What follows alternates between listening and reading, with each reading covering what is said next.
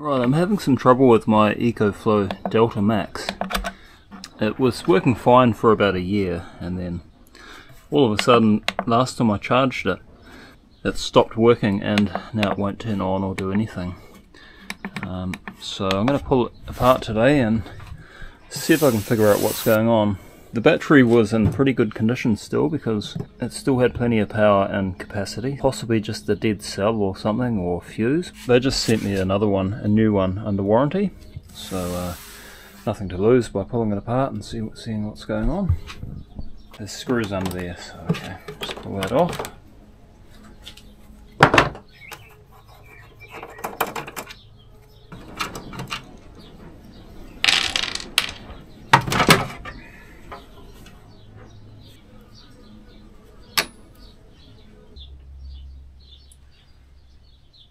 Nothing,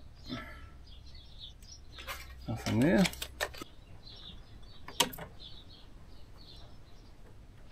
So that says PV. So that's probably from the charger here. Yeah, it is. Okay, so charging input from there to there. So it looks like this handles the charge. This top board.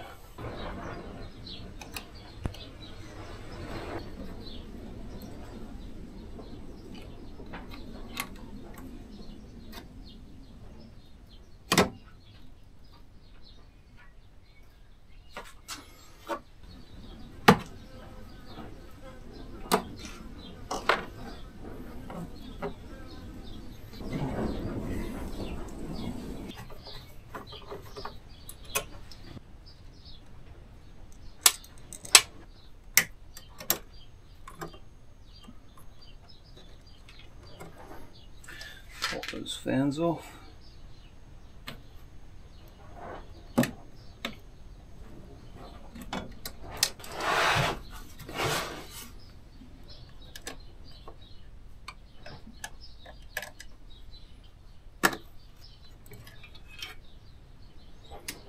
There's no obvious blown components there. All looks pretty good.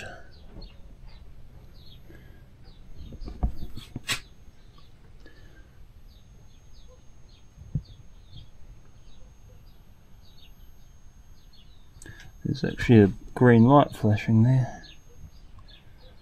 Hmm. What's that about? Could be a blown fuse or something. That looks like a fuse there, is it? Let's test that. Let's see if there's any voltage in that first. Oh yeah, there is a voltage there.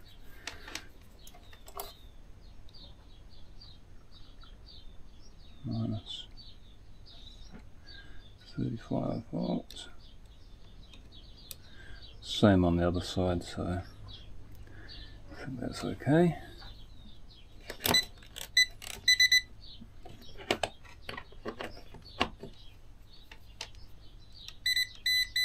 Mm hmm Never going to be that easy. We'll test these terminals here and see if there's any juice in the battery. So it's showing 2 volts there. Um, there must be a relay further down that lets the power through, I'm guessing. This is the extra battery input. Yeah, that's only saying 1 volt. But there might be a relay there that um, the contact of it turns it on.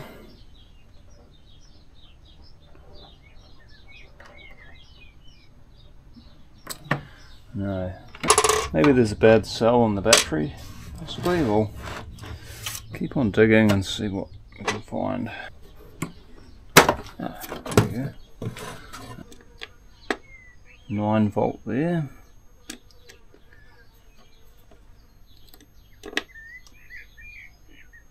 Nothing there. Nothing there. I'm hearing a bit of a whistling noise in there, that, that's new, so try charging it again and see what it does. Because that has changed.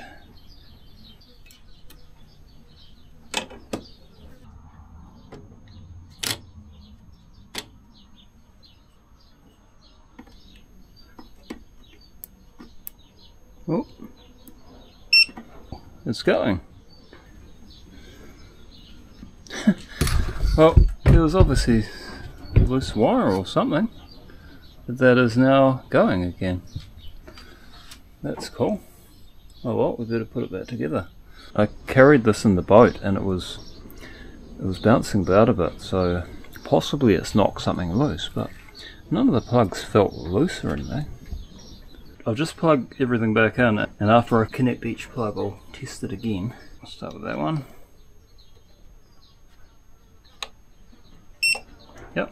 All good. Imagine if it was just a faulty fan or something.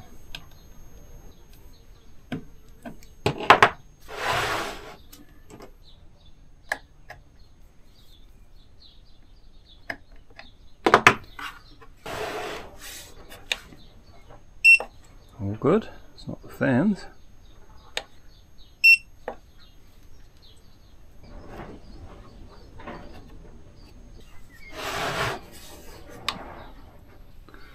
She's all still going. I might have accidentally fixed it somehow, I don't know, but maybe there was a loose wire somewhere. Maybe in that control board. But um, yeah, she seems to be going now. Whatever it was. Ah, there. There's something in there. Right, okay, so it's that plug there. Somewhere in there, there's a fault.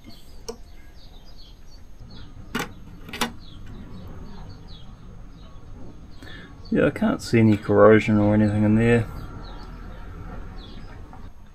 It all looks normal. Possibly there's a little bit of a, a problem in one of these um, sockets. It's just not quite contacting properly, but if it does it again, I'll get another one of these plugs and swap it out because I think it's probably one of those sockets in there isn't quite contacting properly. Anyway, at least we know what the problem is. It's not really a major problem, it's just a simple plug failure. Yeah. It doesn't take much. Right, well that's an easy fix, thankfully. So if you find your delta suddenly doesn't work, take the top off and have a little play with that plug. I don't know how common of a problem that is, but probably not very common.